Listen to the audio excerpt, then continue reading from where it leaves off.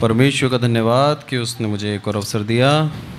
आप लोगों के मध्य में एक सुसमाचार लेके आने के लिए। और आज का सुसमाचार हम देखेंगे मत्ती में से। मत्ती उसका छठा अध्याय। और पाँचवें आज से। जब तू हाँ पढ़े। जब तू प्रार्थना करे तो कपटी के समान ना हो। क्योंकि लोगों को दिखाने के लिए आराधनालयों में और सड़कों के मोड़ों पर खड़े होकर प्रार्थना करना उनको अच्छा लगता है। मैं तुमसे सच कहता हूँ कि वे अपना प्रतिफल पा चुके धन्यवाद। जब तू प्रार्थना करे तो कपटियों के समान ना हो। कौन है ऐसा जो कपटी के समान प्रार्थना करता है? कभी सोचा आपने? मन में कपट है और प्रार्थना कर रहे हैं। कपट समझते हैं? अंदर बुरे विचार चल रहे हैं और मुँह पे कुछ और है। दोहरी ज़िंदगी। प्रभु यीशु मसीह से प्रार्थना करने वाले को प्रभु यीशु मसीह क्या बोलता है कि तू कपटियों के समान प्रार्थना मत करना। उस समय परमेश्वर से प्रार्थना करते ना? प्रभु यीशु मसीह बता रहे हैं। तो क्या प्रार्थना करना वाले भी कपटी हो सकते हैं क्या? प्रभु यीशु मसीह झूठ नहीं बोलता? झूठ बोलता कभी उसने जीवन में? नहीं बोला। झूठ बोलता तो वो पापी कहलाता और मरे हुए में से वापस जी नहीं उठता। हम मर के वापस क्यों नहीं जीते? उसका सबसे बड़ा कारण यही है कि हमारे जीवन में पाप है। क्योंकि बाइबल कहती है, पाप की मजदूरी मृत्यु है। यदि हम पाप करते हैं तो हमारे जीवन में पाप था इसीलिए हमने क्या करा, हम मरे, हम दोबारा जी नहीं उठे। पर प्रभु यीशु मसीह क्यों जी उठा? उसका सौ प्रतिशत यही प्रमाण है कि उसके जीवन में शून्य पाप नहीं रहा, बिल्कुल ज़ीरो। ना उसके विचारों में कभी आया, ना उसने कभी किया। अब हम लोग कलिशिया के अंदर रोज प्रार्थना करते हैं, अपने घरों में प्रार्थना करते हैं तो हमको, हमारे जीवन को परखने की आवश्यकता है कि हम किसके समान प्रार्थना कर रहे हैं। धर्मी और अधर्मी में एक फ़र्क होता है बस। धर्मी अपने पापों का अंगीकार कर चुका है।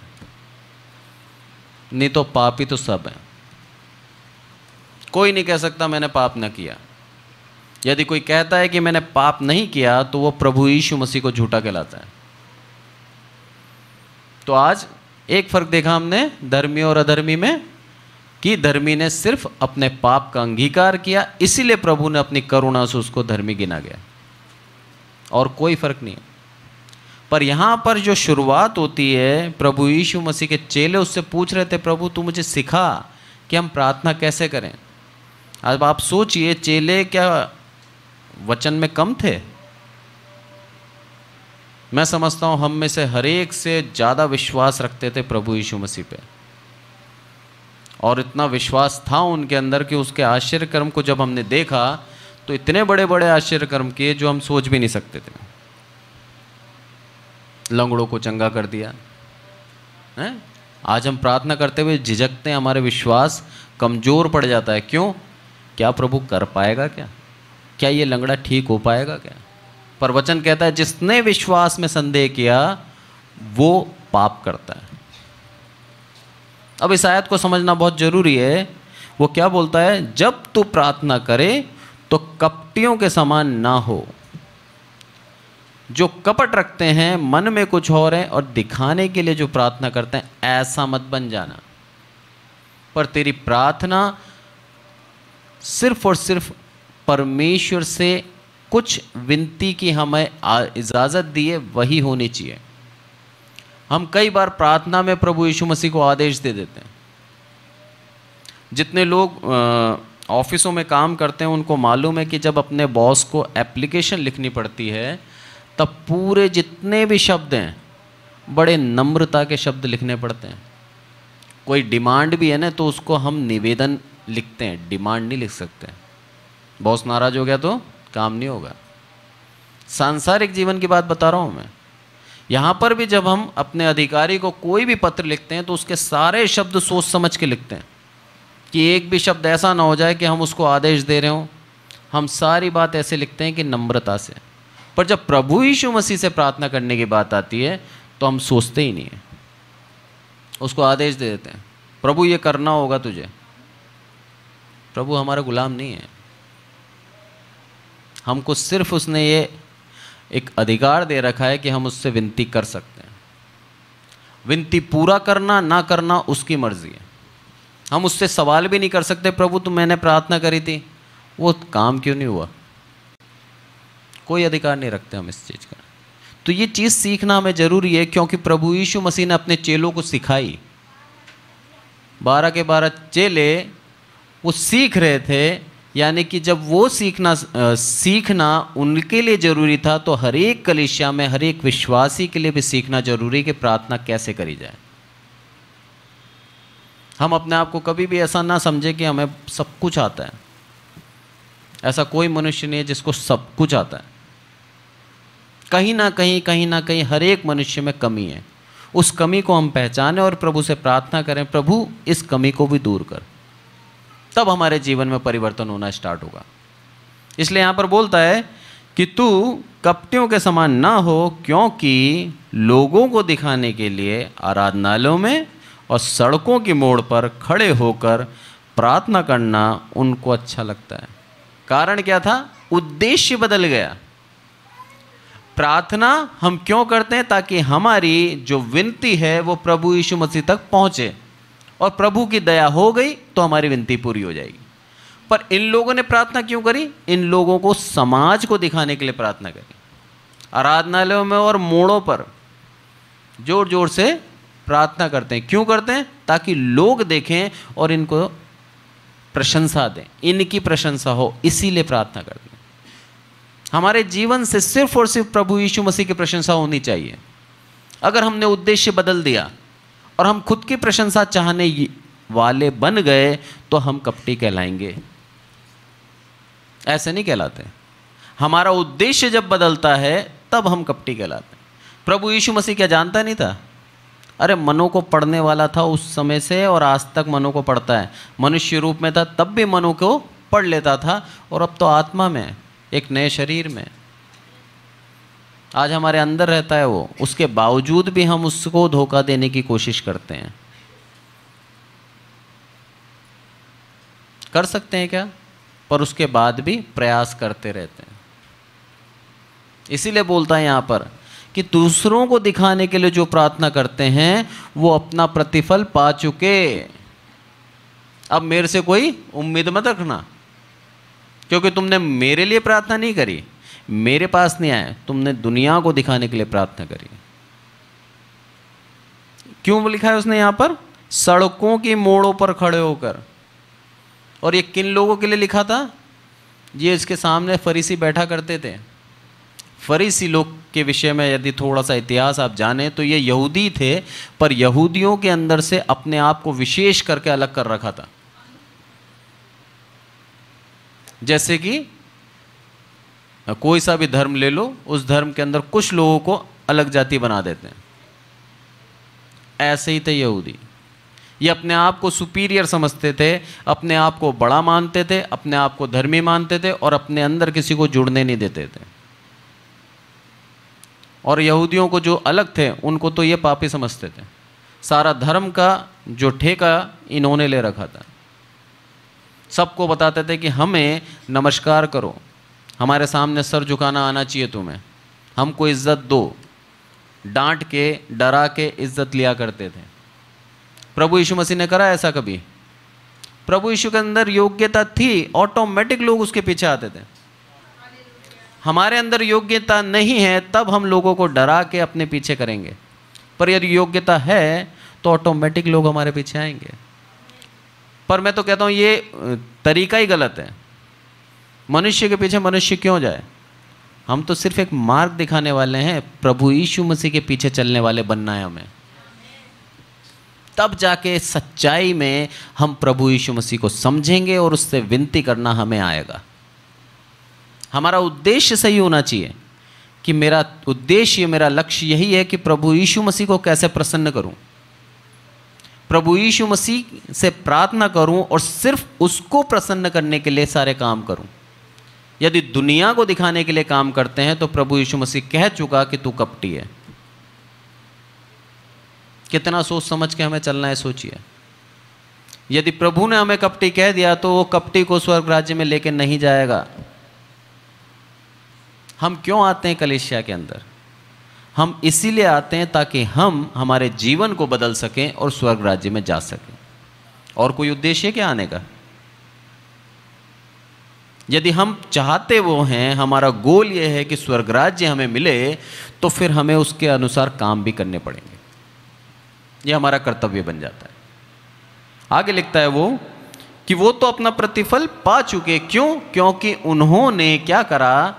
उन्होंने दुनिया को दिखाने के लिए काम करें और दुनिया ने उनकी प्रशंसा करी और उनको प्रतिफल मिल गया। दुनिया को दिखाने के लिए जब काम करते हैं, हम दुनिया की प्रशंसा लेते हैं और खुश हो जाते हैं, प्रभु हमको आदर सम्मान नहीं देगा फिर, क्योंकि दुनिया से हमने ले लिया।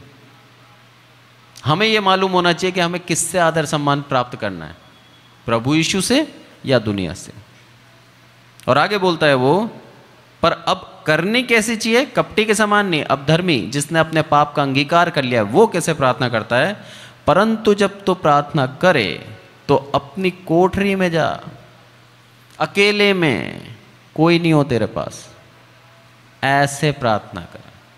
जब तू और तेरा पिता दोनों साथ होंगे, ऐसे व्यक्तिगत रूप से रिश्ता बना, सांसारिक रूप से नहीं।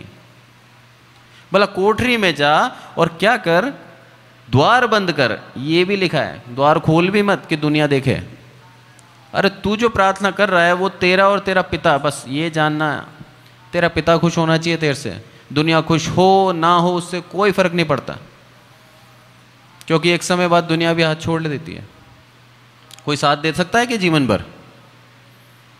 हमारे खून के रिश्ते साथ नहीं देते। हम दूसरों पे भरोसा क्या करें? पर यहाँ पर बोलता है, जब तू द्वार बंद कर और अपने पिता से जो गुप्त में है, प्रार्थना कर तब तेरा पिता जो गुप्त में देखता है तुझे प्रतिफल देगा। यहाँ पर हमें प्रतिफल मिलेगा। वहाँ पर प्रतिफल नहीं मिला। वहाँ पर हमने जो भी मांगा, वो तो गया ही हवा में, क्योंकि मनुष्य नहीं दे रहा। और ये चलन भी कई जगह चल चुका है क्या? किसी तक अपनी बात पहुंचानी है तो हम बोलते हैं, प्रार्थना करना साहब। या फिर, प्रार्थना के समय अपनी कमजोरियाँ बता देते हैं कि मुझे ये भी ज़रूरत है, प्रभु तू जानता है। ताकि शायद सामने वाला दया करके उसको कुछ दे दे।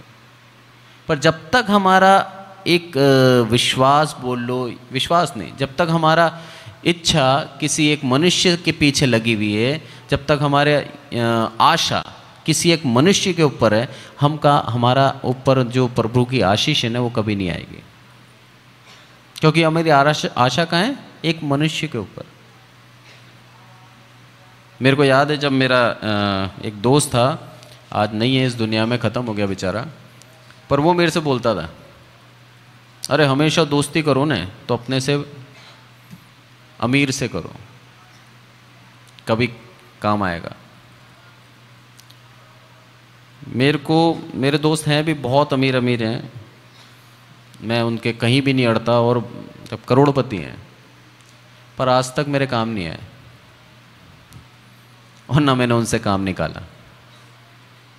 मिलते हैं, जुलते हैं, कभी साथ में लंच कर लिया, डिनर कर लिया, पुराने स्कूल की बातें याद आ गई, बस।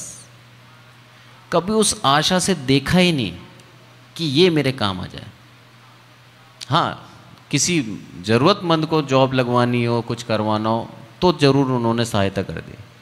पर मेरे लिए तो कभी नहीं मांगा।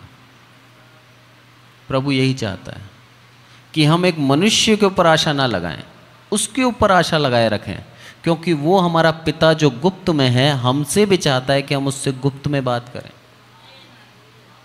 आप अपनी प्रार्थना को किसी को मत बताओ। आपको समझ में आ जाएगा प्रभु आपकी सुनता या नहीं सुनता।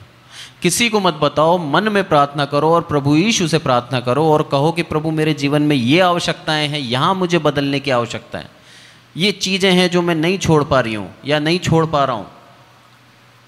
और फिर देखो आपके जीवन में जब बदलाव होगा तो आप समझ जाना प्रभु यीशु मसीह जो गुप्त में है वो आपकी बात सुनता है। पर हम जब सांसारिक रूप से सबको बताते हैं, तब हमारा प्रतिफल हमने पा लिया। वचन कह रहा है, मैं नहीं कह रहा। इसलिए बोलता है, यदि तुम्हें परमेश्वर से प्रतिफल चाहिए तो तुम्हें अपनी कोठरी में ऐसे ही प्रार्थना करनी पड़ेगी। और आगे बोलता है वो, प्रार्थना करते समय अन्य जातियों के समान बकबक ना करो। ये चीज़ भी प्रभु कह रहा है। आज नहीं है 2022 साल पहले से बात ये चल रही है। प्रार्थना करते समय कुछ ना कुछ बोलते हैं। 2022 साल निकल गए, पर लोगों की आदत नहीं सुधरी। कितने प्यार से प्रभु समझाता है।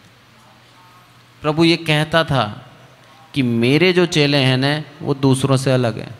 रीज़न क्या था? प्रभु उनके साथ था। बोलते भी थे कि प्रभु तेरे चेले तो उपवास नहीं करते।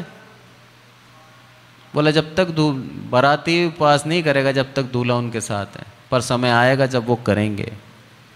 प्रभु यीशु मसीह की संगति यदि हम महसूस करते हैं तो हमें वो आनंद और वो खुशी रहेगी कि हम कभी भी किसी भी प्रकार से दुख महसूस नहीं कर सकेंगे। इसलिए बोलता है वो कि अन्य जातियों के समान बकपक ना करना। कितना घृणा करता है प्रभु अन्य जाति से, इस वचन से आप सोचिए। जो उसको सर्वशक्तिमान नहीं मानते, उसके अलावा सब जगह सर ढोकते हैं, उन लोगों से प्रभु चिढ़ता है। कारण क्या है? इसको उदाहरण से आप समझें कि आपका पिता आप उसको पिता ना कह के पड़ोसी को पिता बोल दो।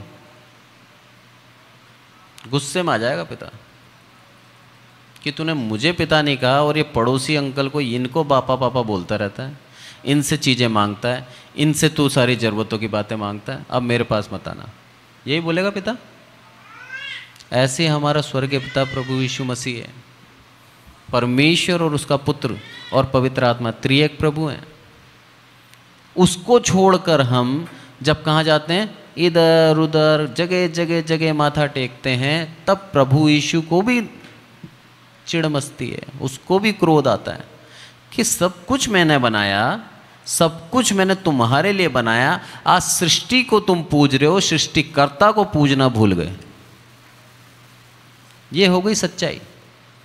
जो सृष्टि है, जो नेचर है, जो प्रकृति है, उस प्रकृति को तो हम पूज रहे हैं। पर उसको बनाया जिसने, परमेश्वर, उसको हम मानना, उसके हम आराधना करना भूल गए। इसीलिए उसको चिड़ मचती है। और मचना भी वाजिब है। क्योंकि पिता चाहता है कि पुत्र सिर्फ़ और सिर्फ़ उसके सामने आए, उससे मांगे और उसके अलावा कहीं ना जाए। पर यदि पुत्र करता है ऐसा तो पिता को चिड़ मचती है, गुस्सा आएगा। इसलिए आगे बोलता है वो आठवीं आयत, इसलिए तुम उनके समान ना बनो, क्योंकि तुम्हारा पिता तुम्हारे मांगने से पहले जानता है कि तुम्हारी क्या आवश्यकता है। कितना अच्छा पिता है, सोचिए। मांगने से पहले जानता है। और ये सच्चाई भी है। हमारा बच्चा कुछ बोले, ना बोले, हमें सारी आवश्यकताएँ मालूम है उसकी। और कई समझदार माँ बाप उनके भविष्य की प्लानिंग भी कर लेते हैं।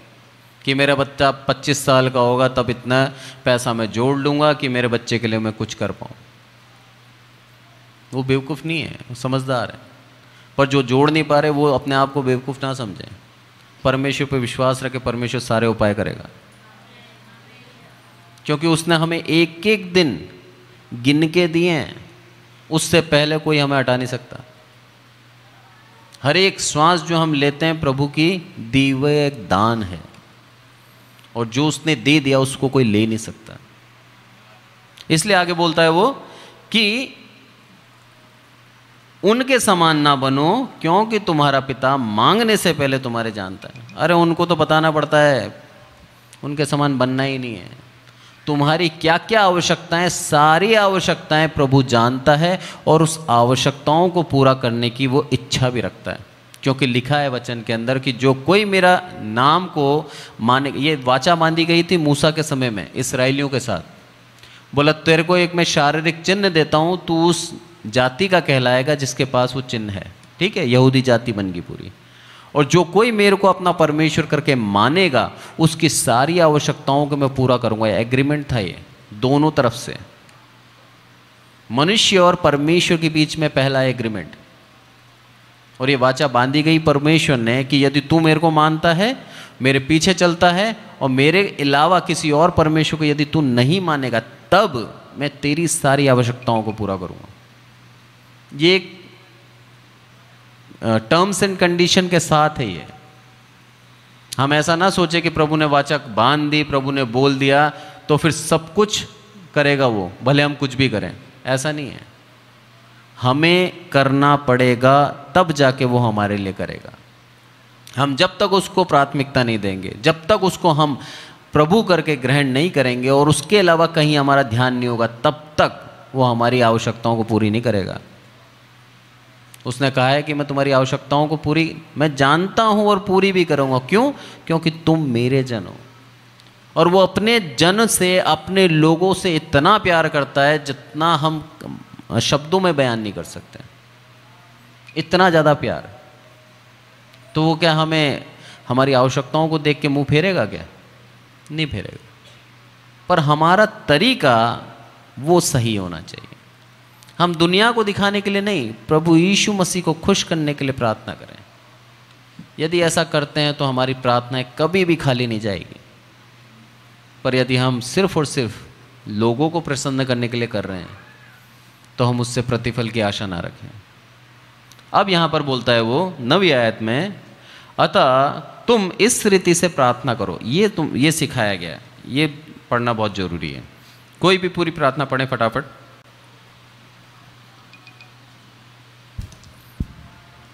अतः तुम इस रीति से प्रार्थना करो, हे हमारे पिता, तू जो स्वर्ग में है, तेरा नाम पवित्र माना जाए।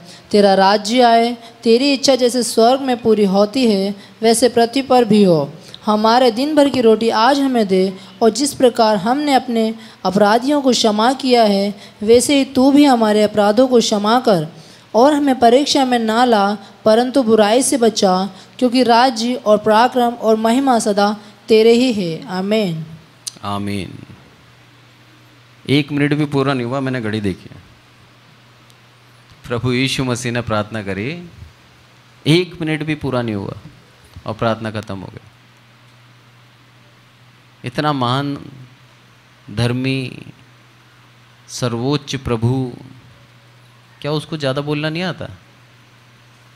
या उसके पास शब्द नहीं थे? या वो कम ज्ञान रखता था? फिर क्यों इतना कम उसने बोला? इसको ध्यान से जब हम समझेंगे ना तो ये एक मिनट से जो कम की प्रार्थना है ना, ये बहुत लंबी है। इसको समझना ज़रूरी है। क्या बोलता है वो? हे हमारे परमेश्वर पिता, तू जो स्वर्ग में है, तेरा नाम पवित्र माना जाए। जब मैं बोल रहा हूँ किसी का नाम पवित्र माना जाए तो मेरे लिए भी ये कर्तव्य बन जाता है कि मैं भी उसके नाम को पवित्र मानूं। ना केवल मानूं, बल्कि प्रयास करूँ कि मेरे जितने भी जानने वाले हैं, वो भी पवित्र माने। क्योंकि उसके नाम में सब कुछ है। जब हम उसका नाम पवित्र मानते हैं, तब हम ऑटोमेटिक अपनी सारी बुराइयों से बचेंगे। क्योंकि हमने उसका नाम पवित्र माना है। और उसके पवित्र नाम को हम अपवित्र नहीं करें। जब हम उसकी प्रजा कह बन गए, हम उसके दास बन गए तो हमारे साथ उसका नाम जुड़ गया। जैसे एक बच्चा गलती करता है तो तुरंत उसके पिता को क्या बोलते हैं? अरे, अच्छी शिक्षा नहीं थी इनके घर में। इसका बाप भी ऐसा ही था। इसीलिए बच्चा भी ऐसा ही निकला। किसकी बेइज्जती होती है? पिता की। इसलिए बोलता है, तेरा नाम पवित्र माना जाए, यानी कि मैं मेरे जीवन को इतना पवित्र कर लूँ कि लोग बाग मेरे को देख के बोलें कि हाँ इसका जो पिता है, वो स्वर्गीय वो यीशु मसीह, वो परमेश्वर, वो पवित्र है, इसीलिए ये भी पवित्र है। एक छोटे से नाम में है ना, पवित्र माना जाए, हमको खुद को पवित्र बनना पड़ गया। सिर्फ़ बोल देने से बात खत्म नहीं हुई। उसको निभाना भी ज़रूरी है। इसलिए बोलता है वो कि तेरा नाम पवित्र माना जाए, तेरा राज्य आए, तेरी इच्छा जैसे स्वर्ग में पूरी होती है, वैसे ही पृथ्वी पर भी हो। पृथ्वी पर उसकी इच्छा पूरी नहीं होती क्या? सुनामी, उसकी बिना इच्छा क्या आती है? अर्थक्विक? फिर क्यों बोला? अरे अभी भी इतना काम करना बाकी है प्रभु। वचन कहता है, खेत खड़े हुए हैं, मजदूरों की कमी है। हमारे मनों के अंदर ये बोझ आना चाहिए कि प्रभु, तेरा वचन मैं संसार में बांट दूँ। और फिर क्या होगा, जब, वचन कहता है, जब तक हरेक जीव अंगीकार ना कर ले, हरेक घुटना ना टिक जाए, तब तक प्रभु दोबारा नहीं आएगा। कितना काम बाकी है, सोचिए अब। आज हम संसार में देखते हैं, सबसे ज़्यादा क्रिश्चियन है संसार में। ये तो है, सबसे ज़्यादा क्रिश्चियन है। पर उसके बावजूद भी आधे से ज़्यादा नॉन क्रिश्चियन लोग हैं अन्य जाति लोग हैं। उन तक भी सुसमाचार पहुंचाना आवश्यक है। वो भी जाने कि सच में जीवता परमेश्वर कौन है। तब जाके उसका राज्य आएगा इस पृथ्वी पर। और तब जाके उसकी इच्छा के अनुसार सब करने लगेंगे। तब उसकी इच्छा जैसे स्वर्ग में पूरी होती है, वैसे ही पृथ्वी पर तब पूरी होगी, जब हरेक उसकी इच्छा के अनुसार काम करेगा। ऐसे ही नहीं लिखा ये, क्योंकि स्वर्ग राज्य में हरेक स्वर्ग दूत हरेक उसकी इच्छा से ही जाता है, उसकी इच्छा से ही आता है, उसकी इच्छा से ही काम करता है। पर पृथ्वी पे हरेक मनुष्य करता है, उसकी इच्छा से काम।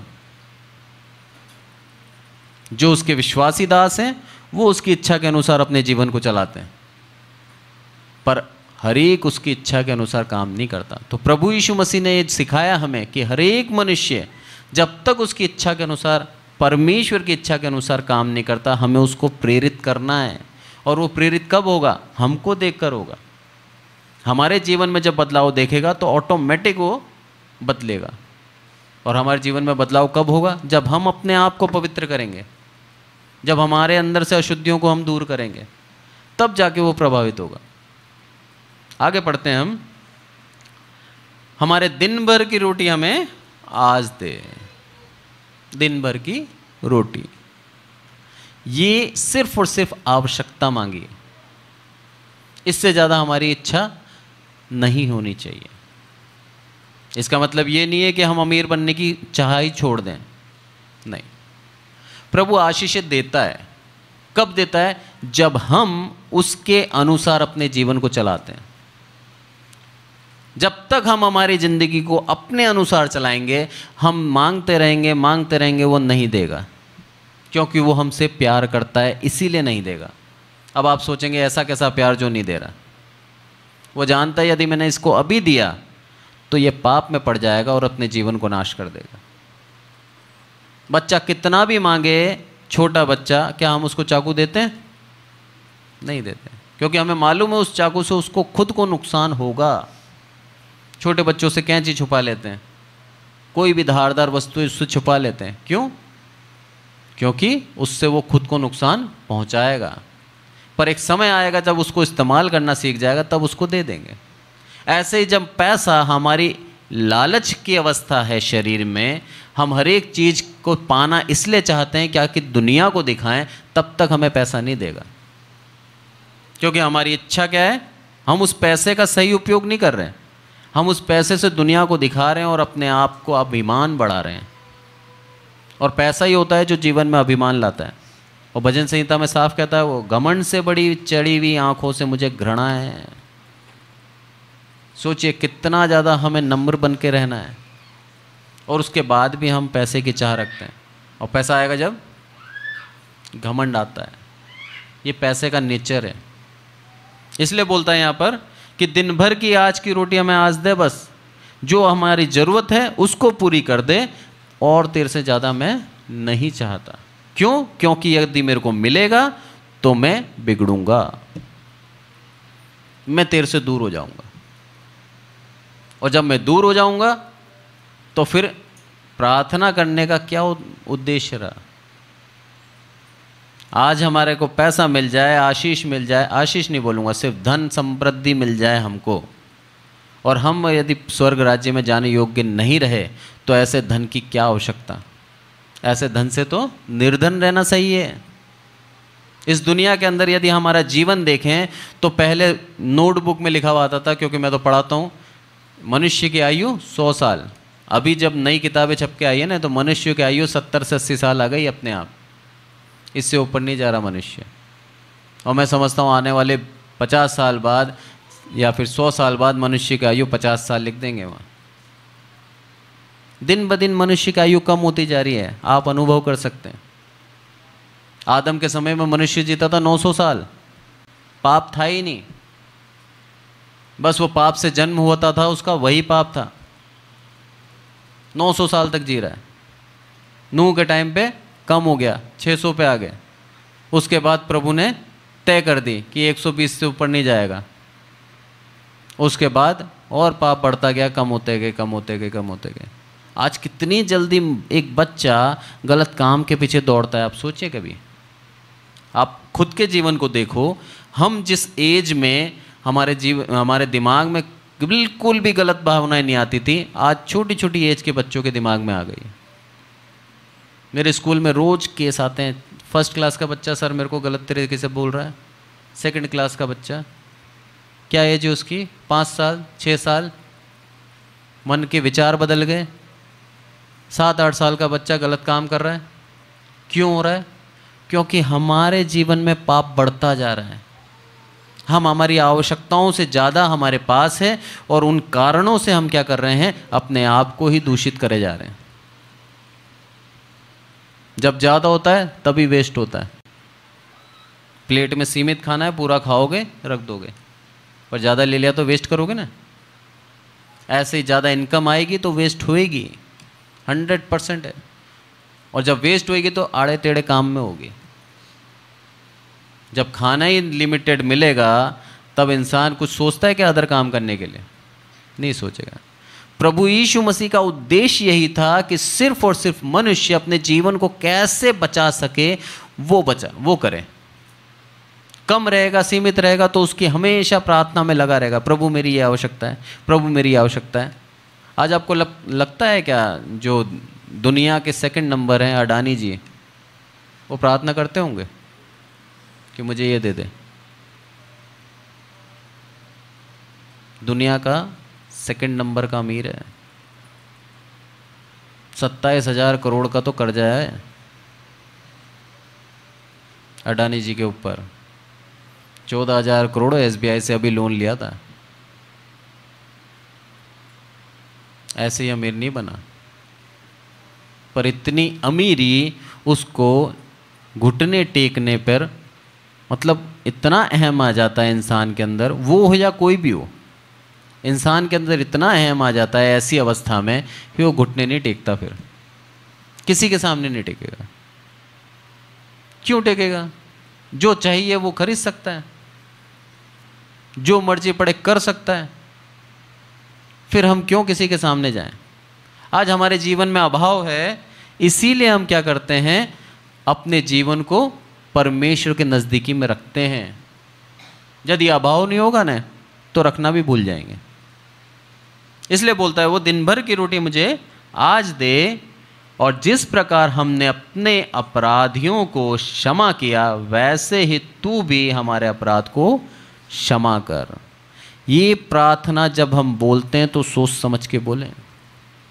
जैसे हमने अपने अपराधियों को क्षमा किया हमने यदि पूर्ण रूप से क्षमा कर दिया है, तभी वो हमें पूर्ण रूप से क्षमा करेगा। यदि आज भी हमारे जीवन में कहीं ना कहीं उस अपराधी के खिलाफ एक हल्की सी भी ग्रज है ना, कि यार, बेकार आदमी, बात नहीं करूँ मैं इससे। तो प्रभु ने भी वैसे ही क्षमा किया है। इन प्रार्थना के शब्दों को जब हम गंभीरता से लेंगे ना तो आप सोचना कि प्रभु यीशु मसीह कितना बुद्धिमान है। कि हमारी बातों में ही हम उलझ के रह गए। अब उनसे बोल रहे हैं, प्रभु तो हमारे अपराध क्षमा कर। किस तरह से? जैसे हमने अपराधियों को क्षमा किया। हम, यहाँ पर हमें सीखने को भी मिलता है कि हमें सौ प्रतिशत क्षमा करना है। किसी ने कितना भी गलत क्यों ना किया हो हमारे साथ, हमें उसको क्षमा करना है। जब हम सौ प्रतिशत क्षमा करेंगे, तभी वो हमें सौ प्रतिशत क्षमा करेगा। सिर्फ़ हमने दिखाने के लिए, दुनिया को बताने के लिए हाँ माफ़ कर दिया, पर आज से आना मत तुम्हारे घर में। तो प्रभु भी ये बोलेगा, माफ़ तो कर दिया, स्वर्ग राज्य मत आना। बहुत अंतर है।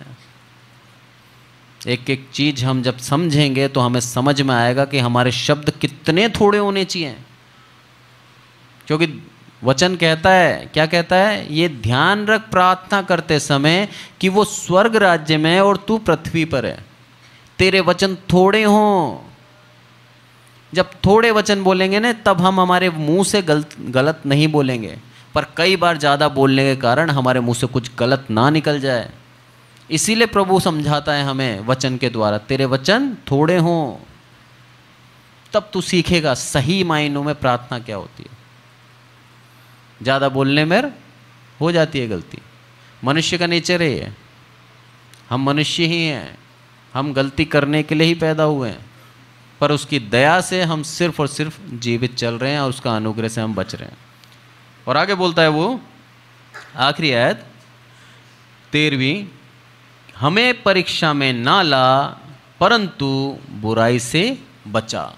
ये चीज़ हमारे जीवन में होना अनिवार्य है। हमें परीक्षा में ना ला।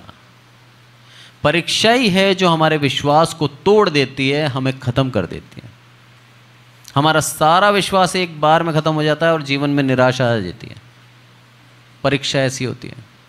और कितना भी बड़ा विश्वासी क्यों ना हो। चालीस साल पुराना विश्वासी हो, पचास साल पुराना विश्वासी हो, परमेश्वर का दास क्यों ना हो, निराशा हर एक के जीवन में आती है, शैतान कमज़ोर नहीं है, ये ध्यान रखें। एक मिनट में आपके विश्वास को ख़त्म कर सकता है शैतान। इसीलिए हमारी प्रार्थना ये होनी चाहिए, प्रभु हमारी परीक्षा में ना डाल, हमें बचा ले। क्योंकि हो सकता है जो हमारा विश्वास रूपी जहाज़ है, वो परीक्षा में डूब जाए। और आगे क्या बोलता है वो? बुराई से बचा। ये जीवन में होना अनिवार्य है। जब तक हमारे जीवन में बुराई बनी रहेगी, तब तक हम उसका नाम पवित्र नहीं कह सकते। उसका नाम पवित्र कहना है तो हमें पवित्र बनना पड़ेगा।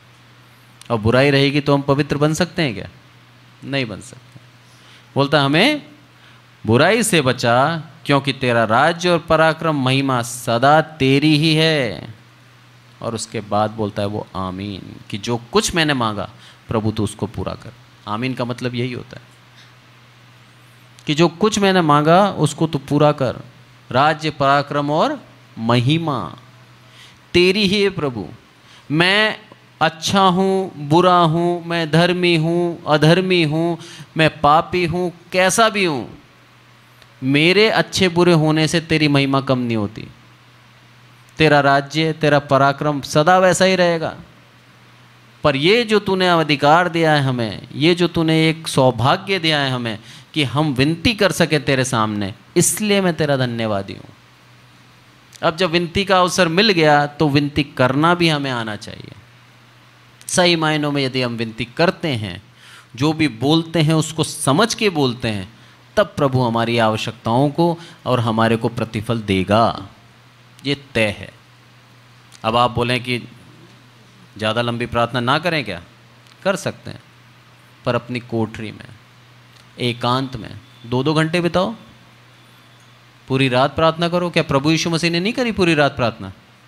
करी ना? और उससे बोला उनके चेलों से, क्या तुम दो पहर नहीं जाग सकते थे क्या? उनको नींद आई, वो सो गए। पर एकांत में, व्यक्तिगत रूप से, आप समय बिताओ ना, पूरी रात बिताओ। पर व्यक्तिगत रूप से, पर सार्वजनिक जब हैं, तब हमारे शब्द वो से होने चाहिए जिसमें सिर्फ़ और सिर्फ़ उसको महिमा मिले। परमेश्वर इन वचन से हम सबको आशीषित करें। आइए एक छोटी सी प्रार्थना करें। हे हमारे प्रभु, हम सबको संभाल कर रखते हैं, इसलिए आपका धन्यवाद ईश्वर। मेरे प्रभु, आज के वचन को मेरे प्रभु, हर एक विश्वासी के जीवन में उतारना ईश्वर। सच मायनों में मेरे प्रभु, आपकी प्रार्थना करना भी एक सीखने की चीज़ है ईश्वर। मेरे प्रभु, बारह के बारह चेले आपके चुने हुए थे और हमारे से बहुत ही अधिक धर्मी और बहुत ही अधिक विश्वास योग्य थे ईश्वर। उसके बावजूद भी आपने उनको सिखाया ईश्वर। मेरे प्रभु, हमें सीखने की बहुत आवश्यकता है। हमारे जीवन में बहुत सी अभी भी ऐसी बाधाएँ हैं जो हमें प्रार्थना से दूर लेके जाती हैं, ईश्वर। उन बाधाओं को दूर करना। हमारे जीवन से अहम को हटाना, ईश्वर। हमें अधीनता में रहना सिखाना, ईश्वर। सब कुछ आपके हाथों में सौंपते हैं, ईश्वर। हर एक विश्वासी के लिए प्रार्थना करते हैं, ईश्वर। ये वचन उनके जीवन में कार्य करें। उनके जीवन को मेरे प्रभु, आप बचाना, ईश्वर। और उनके जीवन में प्रार्थनाओं का प्रतिफल देना, ईश्वर। सब कुछ आपके हाथों में सौंपते हैं कुरबार प्रभु यीशु मसीह के नाम से मांगते हैं। आमिन। और अब हमारे परमेश्वर पिता का प्रेम, प्रभु यीशु मसीह का अनुग्रह, पवित्र आत्मा के सहभागिता, हम में से हर एक विश्वासी के जीवन के अंत तक बनी रहे। आमीन।